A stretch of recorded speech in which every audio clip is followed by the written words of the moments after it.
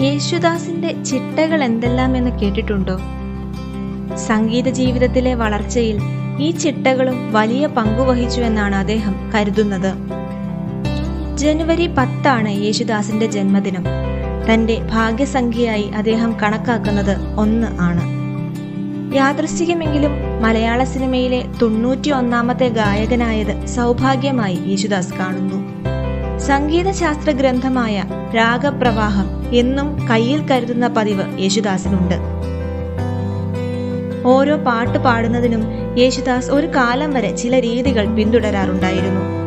പാടാനുള്ള പാട്ട് അനുപല്ലവി ചരണം എന്നീ ക്രമത്തിൽ വ്യത്യസ്ത ഷീറ്റുകളിൽ കറുപ്പ് മഷി കൊണ്ട് എഴുതും. സംഗീത സ്വര ചിഹ്നങ്ങൾ വരികൾക്ക് മുകളിൽ ചുവപ്പ് മഷി കൊണ്ട് അടയാളപ്പെടുത്തും. കറുപ്പ് ചുവപ്പ് മഷിപ്പേനകൾ ഇതിനായി കയ്യിൽ കരുതുകയും ചെയ്യും.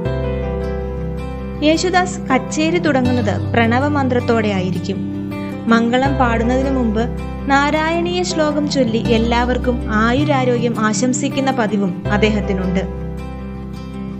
ഡോക്ടർ ജെ ഡി അഡാമോയുടെ ഈറ്റ് റൈറ്റ് യുവർ ടൈപ്പ് എന്ന ഗ്രന്ഥവിധി പ്രകാരമാണ് യേശുദാസിന്റെ ഭക്ഷണ ചിട്ട യേശുദാസിന്റെ ഈ ചിട്ടവട്ടങ്ങൾ ചിലർക്ക് കൗതുകമാണ് ചിലർക്ക് പ്രചോദനവും.